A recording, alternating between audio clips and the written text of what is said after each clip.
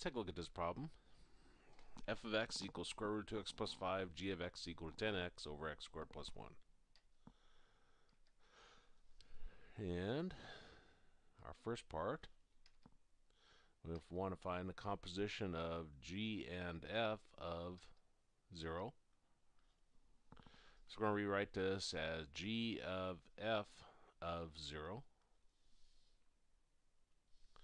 Now first we'll work with the inner.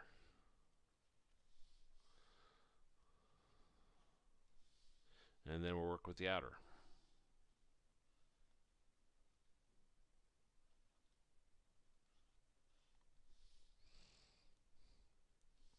Okay, so inside we got f of 0. So let's find out what that's equal to. We're going to plug 0 in everywhere we have an x in f of x. So we got 2 times 0 plus 5. 2 times 0 is 0, so this gives us square root of 5.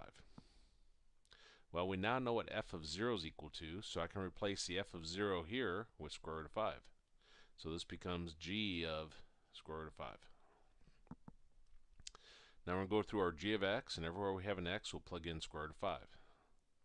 So I got 10 square root of 5 over square root of 5 squared plus 1. So it gives us 10 square root of 5. When you square a square root, they cancel each other. So it gives us 5 plus 1.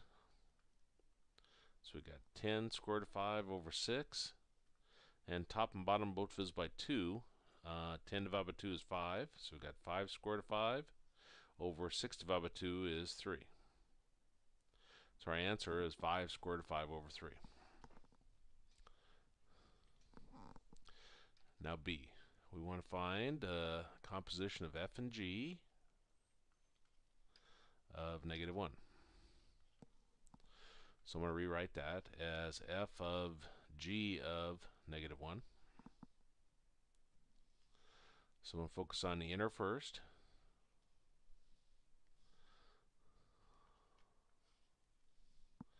And then I'll focus on the outer.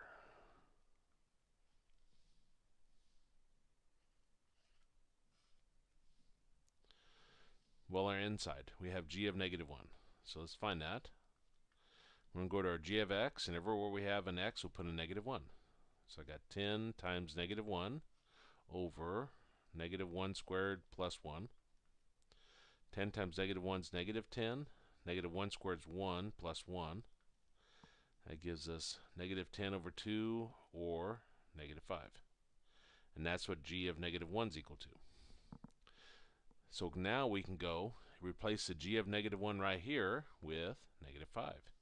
So this becomes f of negative 5. So we're going to go to our f of x, and everywhere we have an x, we'll put a negative 5.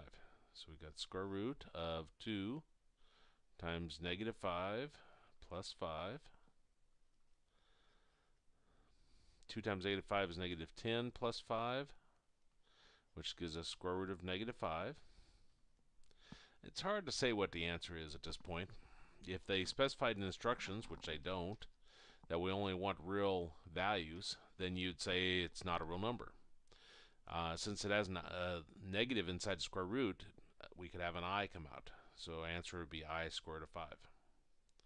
Um, like I say, or if they want just real numbers, sometimes they're not very clear in directions, uh, then you'd say, or not a real number.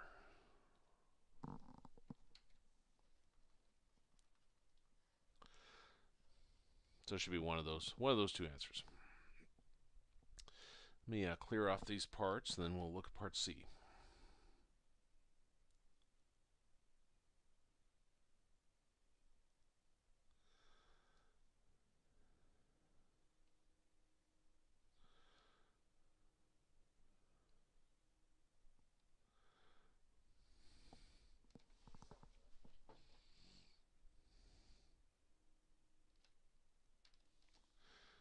Okay, C. We want to find the composition of f and f of 2,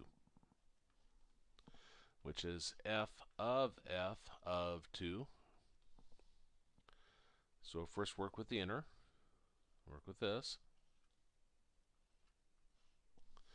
and then work with the outer. Work with all this.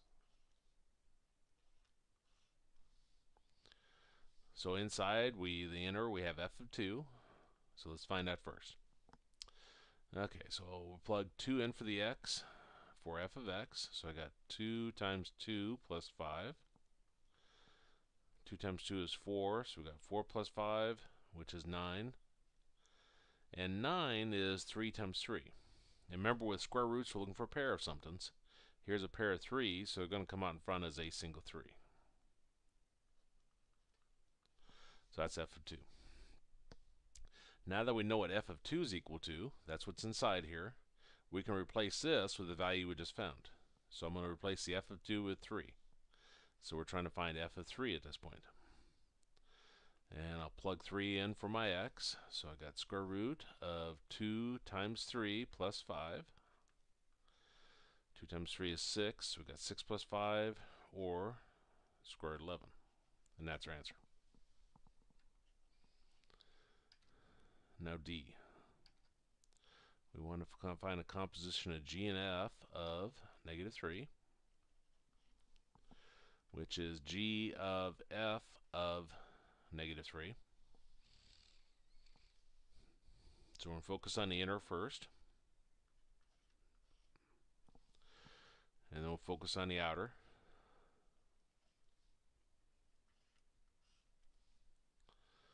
So on the inner, we got f of negative 3. So we'll go to our f of x. And we'll replace our x with um, negative 3. So 2 times negative 3 is negative 6 plus 5, which gives us square root of negative 1, which gives us i.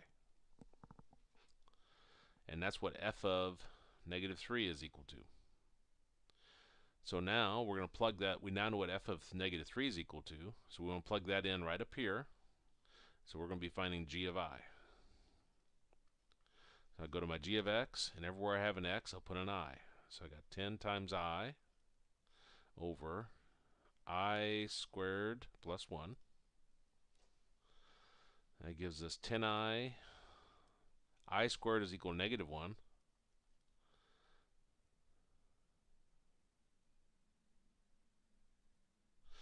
Um, so we got 10i over 0. it's just a weird problem all the way around. Can't have division by 0, so that's undefined. Let me double check that one. It seems too weird. f of negative 3. Okay, put negative 3 in for there, so that's negative 6 plus 5i. Plug i in here. i squared is equal to negative 1. Yeah, that's just correct. Let me erase that and let's look at the um, next part.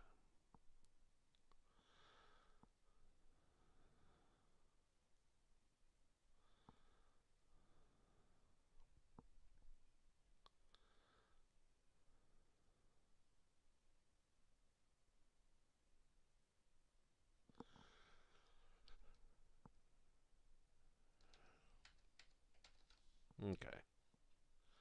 Part E uh, composition of f and g of 1 half, which is f of g of 1 half. And again, I'm going to focus on the inner first.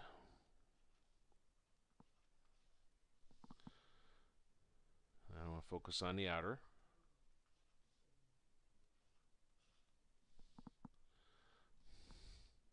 So the inside we're going to have g of 1 half. We'll go to our g of x, and everywhere we have an x, we'll put in 1 half. So we got 10 times 1 half over 1 half squared plus 1.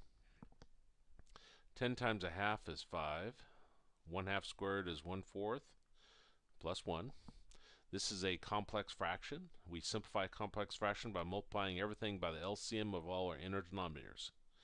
The only inner denominator we have is the 4, so we'll multiply everything by 4. We'll take 4 times 5, 4 times 1 fourth, 4 times 1. 4 times 5 is 20. Those 4's cancel, and I got 1 plus 4.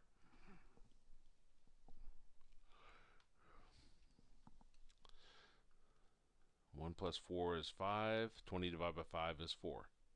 So g of negative, or g of 1 half is equal to 4. So we're going to replace the g of 1 half in this problem right here with 4. So this becomes f of 4. So we'll go to our f of x and we'll replace our x with 4. So we've got 2 times 4 plus 5. That's uh, 2 times 4 is 8 plus 5, which gives us square root of 13. And our last part. We're finding the composition of f and f of negative 2, which we rewrite as f of f of negative 2. Now I'm going to focus on the inner first. And then I'll focus on the outer part second. So the inner part, we got f of negative 2. So we're going to plug um, negative 2 in for the x. So I got square root of 2 times negative 2 plus 5. 2 times negative 2 is negative 4 plus 5, which gives us 1. And square root of 1 is 1. Now that's what f of negative 2 is equal to. So we're going to go back to here and we'll replace the f of negative 2 with 1. So we're going to be finding f of 1. So I go to my f of x and replace the x with 1. So I got 2 times 1 plus 5. 2 times 1 is 2 plus 5 is 7. So our answer is square root of 7.